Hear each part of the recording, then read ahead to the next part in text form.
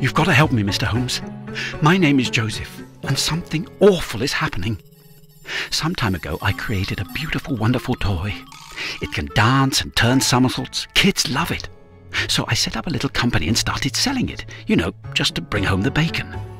Well, it was so successful, some guys decided to option a movie. They offered lots of money, and I thought, why not? But now I'm not so sure. As soon as word got out, some dreadful images began appearing all over the city violent, bloody images of death. And those movie guys don't like trouble, Mr. Holmes. I'm afraid they'll pull out of the deal. I spoke to the police, but they tell me these anonymous street artists are almost impossible to track down. But I did find this photo online. This mysterious woman. I think she may be the culprit. Please help me, Mr. Holmes. You're my last court of appeal, my only hope. Bored. There's no case here, John. There's no crime. Oh, but I'm forgetting. Graffiti is criminal damage. Boring. Come on, Sherlock. This guy looks scared. What if it's a threat?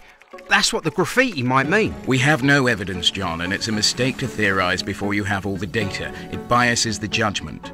Well, if nothing else, it's copyright infringement. Meaning what? Copyright infringement, you know, copying someone's work without permission. Not interested. What are you talking about?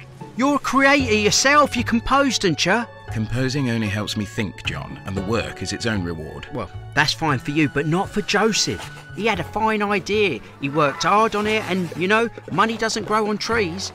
If you were a professional musician, you wouldn't want people copying and mutilating your work.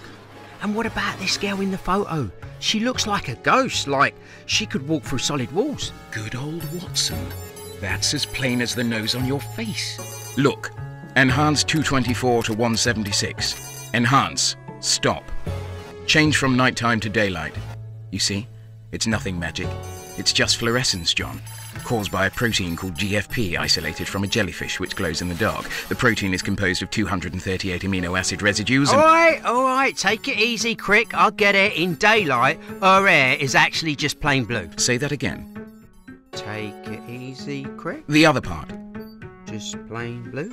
Blue, John. Exactly. Center in. Pull back. Stop. Look at the paint. There's something intriguing about the blue. That three-dimensional gem-like effect can be obtained only with natural lapis lazuli. Why would a street artist use such an expensive pigment when she could just use synthetic ultramarine? It's chemically identical, but much cheaper. What's she telling us? Is it some kind of code? I'm not sure I'm following you. Extract the colors. Isolate the blue. Analyze. There's no binder, no glue. Doesn't make sense. Because. Because without a binder, the paint shouldn't stick. So it's impossible? Impossible, John.